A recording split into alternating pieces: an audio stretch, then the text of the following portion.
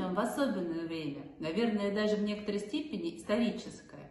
Сейчас все школы столкнулись с новым форматом жизни, а именно с дистанционным обучением. Вне всяких сомнений, эти условия помогли нам иначе посмотреть на образовательный процесс. Коллектив школы создает комфортную атмосферу творчества и товарища для наших обучающихся. А еще мы хотим сделать так, чтобы ученики запомнили это время. Встречайте наш проект международных уроков. Что же это такое?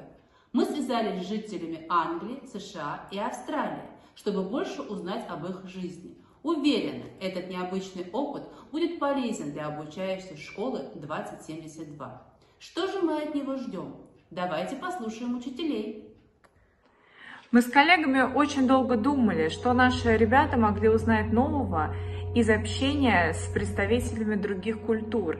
И, разумеется, у каждого из нас возникли свои вопросы.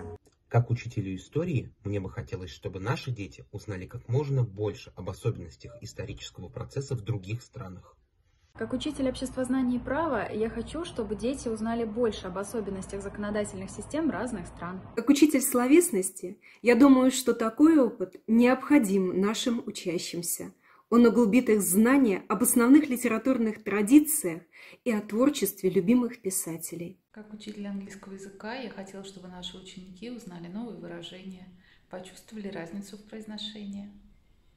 Я хотела бы узнать, как учитель русского языка, Какие трудности испытывают наши друзья международные при изучении своего родного языка?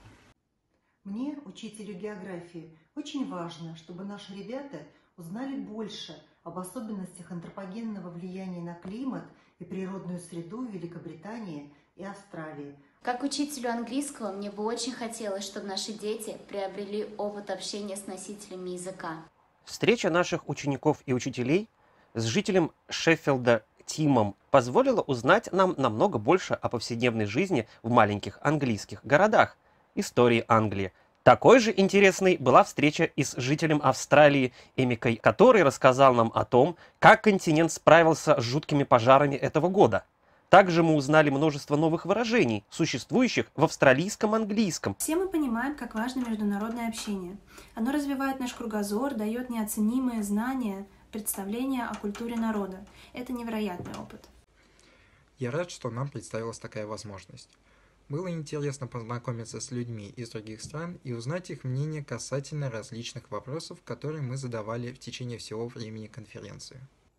Видя восторженные отзывы наших ребят, уверена, что мы приложим все усилия и сохраним этот формат в будущем.